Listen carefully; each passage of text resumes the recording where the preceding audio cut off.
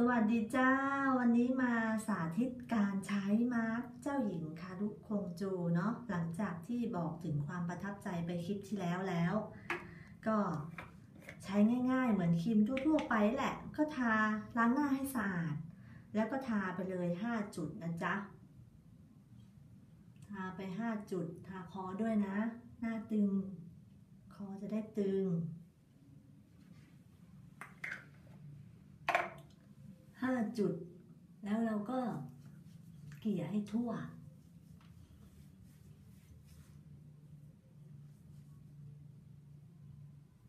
เว้นรอบดวงตาไว้นะจ๊ะ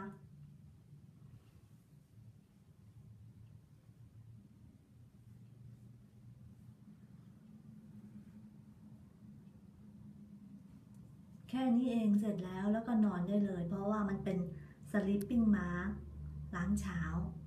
แต่กุ้งแถมให้นิดนึงปกติแล้วกุ้งจะทำอย่างนี้ทุกทุกครั้งที่ใช้ กดจุดก่อนนะใช้ใช้ใช้นิ้วชี้นิ้วอะไรเนี่ย นิ้วกลางกด ที่ละ10วินาทีนับไปนะคะ1 2 3 4 5 6 7 8 9 10ที่ละ10วินะคะ นับเอาเองแล้วกัน สมมุติว่ามันครบแล้วนะ ครบ10วิแล้วนะคะ ที่ละ10วิ เพราะว่าเดี๋ยววิดีโอมันจะยาวเกินไปอะ แล้วที่ขมับ แล้วก็ต่อด้วยทำมืออย่างนี้นะใช้นิ้วโป้งแล้วก็กลับกลับแล้วรีดที่คิ้ว นี่กุ้งทำแบบนี้ห้าครั้งนะคะ แล้วก็ต่ออีกนิดนึง ต่อด้วยหยกหน้าตาแบบนี้หยกกัวซาหน้านะคะ แต่วันนี้ไม่สอนไม่สอนแล้วนะไปดูไปดูย้อนหลังในคลิปกัวซาหน้าสายเอาเองแล้วกัน อันนี้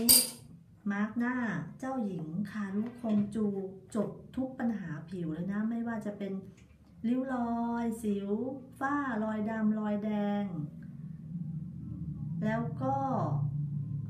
ได้มาตรฐานและปลอดภัย เพราะว่าสกัดจาก พืชเข้มข้น 14 ชนิด มาร์กเจ้าหญิงคงจู